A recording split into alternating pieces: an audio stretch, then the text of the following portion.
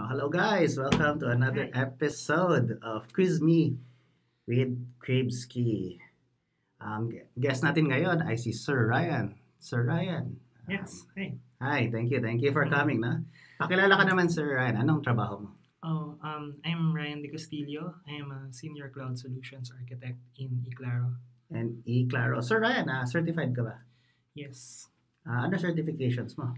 Um, I have five certifications. Mhm. Uh, first is um, yung cloud practitioner, Cloud practitioner. and then I have those um, three associate certifications. Wow, three associate. Oh, Yeah. yes. Um, developer associate, sysops, Mhm. and architecting associate. nice, nice. and then I got uh, security specialty. Security specialty. Nako, magandang ah, certificate nga yan, no?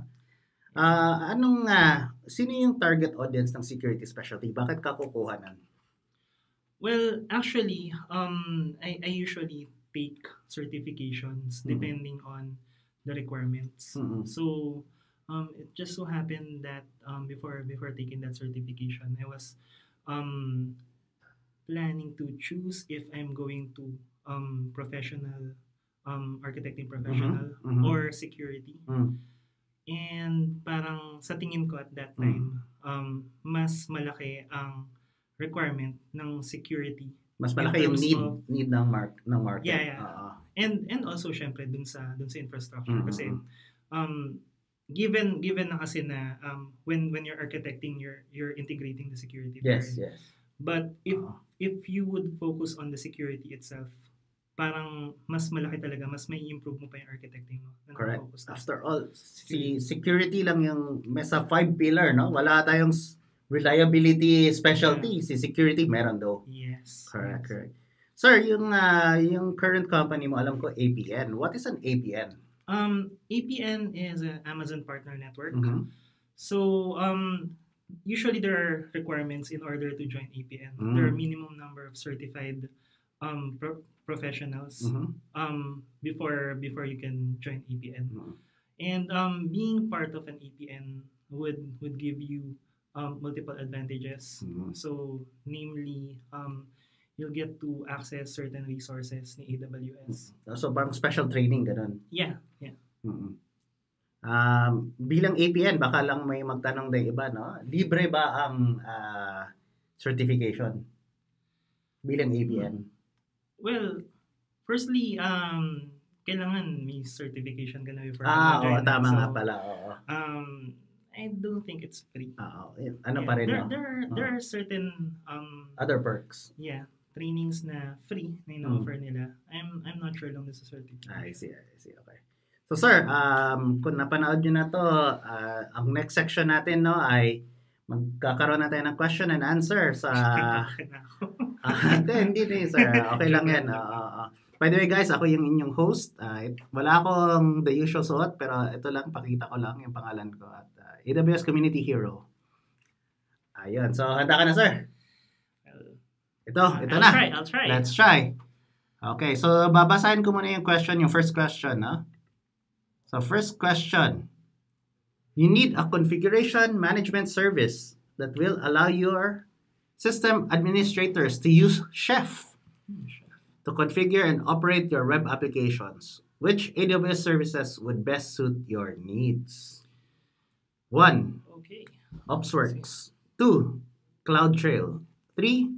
Trusted Advisor. 4. CloudWatch.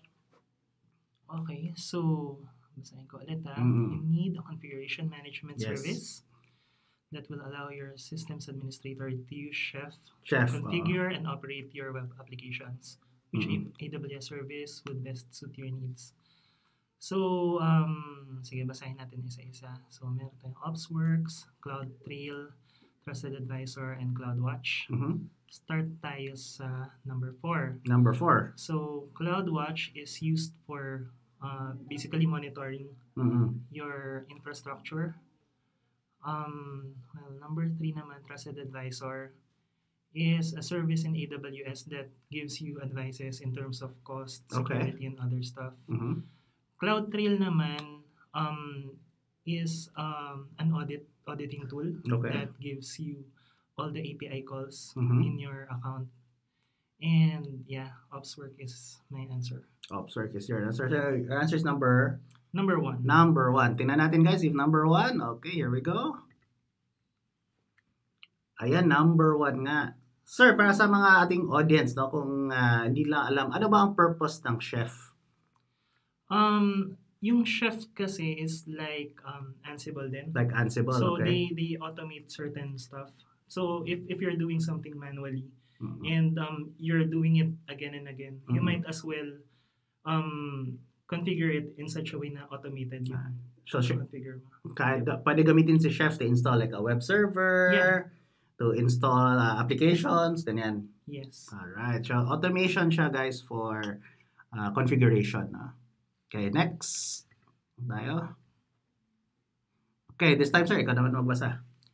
Sige. Ah, okay. Mm, Let's do this. okay, let's do this, yes. Alright. So for custom CloudWatch metrics, what is the minimum granularity in terms of time that CloudWatch can monitor? Whew. Number one, Okay, five sige, Number one, minutes. five minutes. Number two, three minutes. Uh, ay, sorry. Tama. Number, number, two, nalito ako. Ah. number two, three, number three. Number three, two minutes. And number four, one minute. Oo. So, um, usually, yung default na monitoring Mm. ni, um, ni CloudWatch is 5 minutes, but it can it can go up to 1 minute. I think, It can I go think up to one minute. ano eh, meron Mm. pang less eh, kasi I've, I've tried to configure Mm-mm, mm-mm. um, CloudWatch agent and yeah, uh, I'm not sure, but it, it can go to um to up to 1 minute. So yung answer mo dito ay one minute. 1 minute. Okay, tinan natin guys, one Mas minute. mali pala. Ayan, tama, one minute. Correct, tama. Actually, tama ka nga, sir. Uh, five minutes yung default, walang bayad. Yun yung free or within the scope, no? Mm. Yung one minute, uh, detailed monitoring ang tawag doon. So, one minute may bayad na yun extra. Yung, uh, meron actually, yung sabi mo, less than a minute or seconds, no? Pero yun, uh, application events na yun. So, ipapasa Ah, mo na yung application events to CloudWatch. Yeah. So, hindi na siya yung the standard, um, yung hypervisor metrics, ganyan. So, application na yung lower than one minute. Okay. So, I guess ibang-ibang uh, for this cost, uh, case, no, hindi man sabi dito na, ano, baka, kaya one minute lang yung option dito. Okay. Alright, let's try another. Pero so far, so good. Tom, nako, ang iksi. Ako na lang magbasa kayo sa question, ikaw sa answer, no? Amazon S3 provides Number one, unlimited file size for objects. Number two, unlimited storage. Number three, a great place from which to run a NoSQL database. And then number four, the ability to act as a web server for dynamic content Yeah. that can query a database. So, Yeah, sample is a example, yeah. da- database, no? Yeah. Yan. Whew. Okay, Amazon S3. So, ano ba si Amazon S3? So, object storage siya. Mhm. And yeah, so number one is unlimited file size for objects. Alam ko may limit yung yung object size na Mhm. ina-upload kay Mhm. um kay S3 eh. So in terms of file size, Mm. hindi natin masasabing kaya niyang mag-unlimited file size. Okay, so mali yung number one. Mali yung number one. Yes, kasi 5 terabytes yung maximum ng file size ng uh, objects natin at the moment, no? Yeah. Oo. Okay, number two, unlimited storage. Possible. Possible, okay? Number three, a great place from which to run a NoSQL database. NoSQL. All right, so I don't think so. So I, I think there there are better solutions for. There are better solutions for the NoSQL database. Yeah. Uh-uh. Oo. Right. Number four, the ability to act as a web server for dynamic content. Dynamic content. Yeah, usually um pwede siyang gawin na static website, right? Static content, oo, Yeah. hindi dynamic content. Mm, So I would cross out number four as well. Oo. So between number two and three, um, I, I would choose two. Two. I, I think for for number three, um, they've introduced um, AWS Athena, but that is for a SQL querying of uh, your S3 Mm-mm. bucket. Mm-mm. So, yeah. So, I think number two lang talaga. Number two. Alright. Two. Tama pa rin. Yes. So, Kinakabahan ako. So, hindi, hindi. Tama naman. Sa kinakabahan ka, tama nga lahat eh. Yes, because um, the, there are better places to put your NoSQL. Like uh, we have the document DB Yep. or um, DynamoDB. DynamoDB. Yes, correct. Uh, so hindi siya the best place to put a NoSQL database. Let's try another one. Yan. So far, uh, going for... Wait, mahaba to kasi kaya nga. hindi nakita. Okay. Uh, one of your users is trying to upload a 7.5 gigabyte file to S3. However, they keep getting the following error message. Your proposed upload exceeds the maximum allowed object size. Parang na, na pag-usapan natin a while ago, no? To. What solution to this problem does AWS recommend? Kasi yun nga, kanina sabi natin S3 5 terabyte. Ah, 5. 5 Five- five terabyte terabyte. ba? So, dapat kasha to.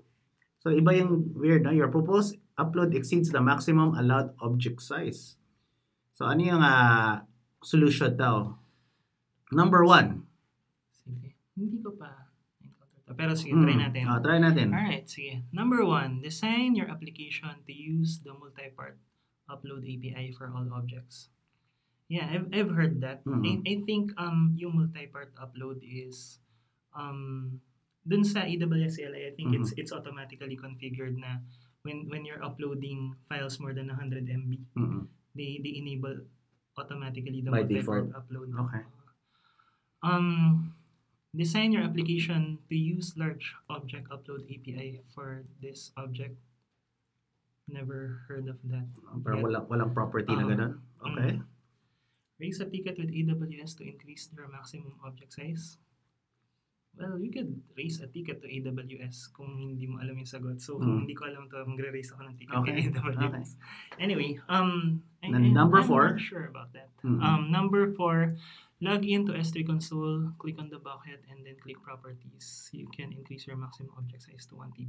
There's, I, I haven't seen that configuration yet. So, um, I, I would go with the multi-part upload. Number API. one, multi. Number one. Okay, tingnan natin.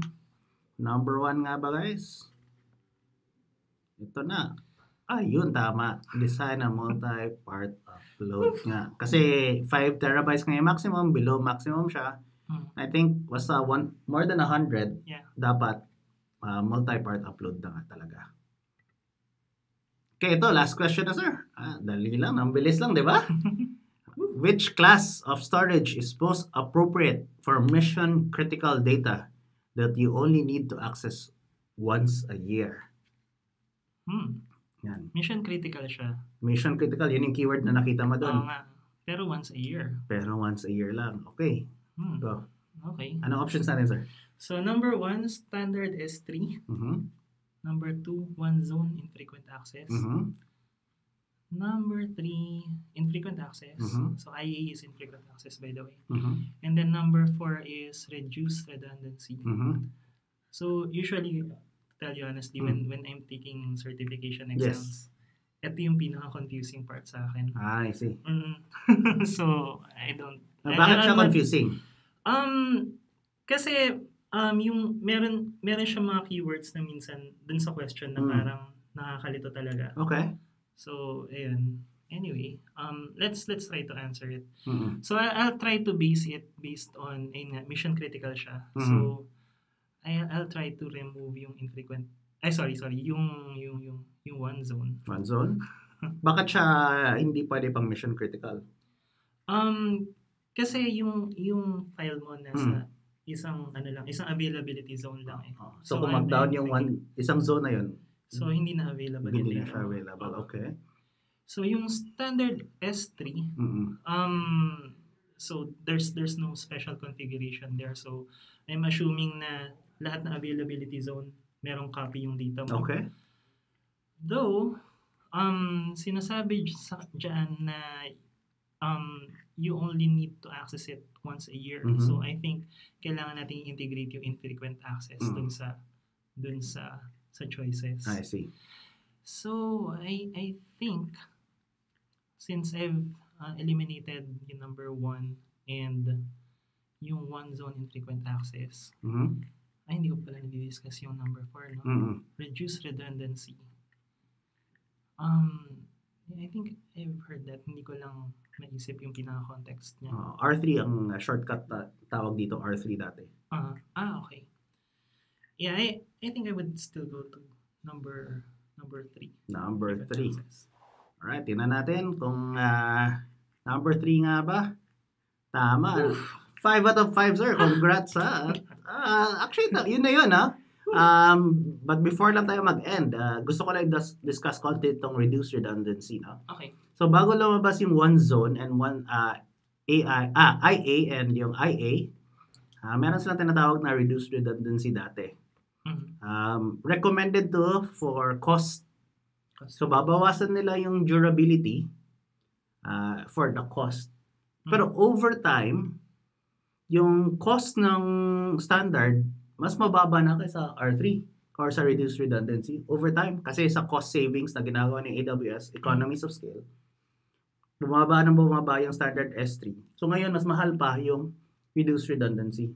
Okay. So if nag-inherit kayo guys ng old AWS application, check nyo to. Kasi kung nagko-convert pa rin kayo ng thumbnails into reduced redundancy, mas mahal actually yun kaysa standard S3. So, parang counterintuitive, Mhm. no? Sa mga old AWS applications, huwag nyo i-reduce redundancy.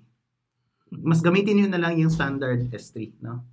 Kung yun yung iniisip natin. Or, move nyo na sa one zone IA Yeah. instead na reduce redundancy. Yeah, and, I- and I think um there's also yung parang I, I saw this configuration eh parang integrate nila yung AI Yes, with S3. Correct. So, may uh, storage class din tayo called um, S3 Intelligent Tiering. So, Mm. based ng history ng access ng ating file or object, siya na bahala kung ililipat niya sa standard S3, one zone, or sa IA. Uh, I think kasa, ibang policy naman yung Glacier. Yeah. So, uh, I guess wala sa option yung Glacier dito kasi baka kailangan mo ng immediate need kasi mission Yeah. critical ka, no? Ah. Yep. Ayun guys, so yan yung ah, explanation dito sa S3. Okay, so bago tayo mag-end, sir, um, ang tanong ko lang sa'yo is, uh, what's next for you? Uh, next, mag bagong certification ka ba? Or, uh, yeah, what's next for you and your company? All right. So for me first. So Mhm. um actually uh so be- before I was uh, trying to um get na yung ano yung uh, architecting professional Mm-mm.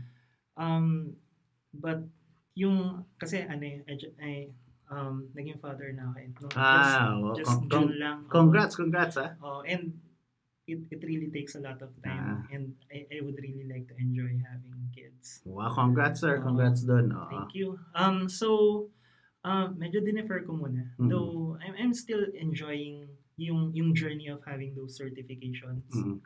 Um either pumasa ka man or hindi. Mm-mm. Ang ang important dun is um you've learned eh. So yun yung pinaka-target ko ngayon is more on learning Mm-mm. and yung yung certification is more on bonus na. I see. Yep. All right. Okay.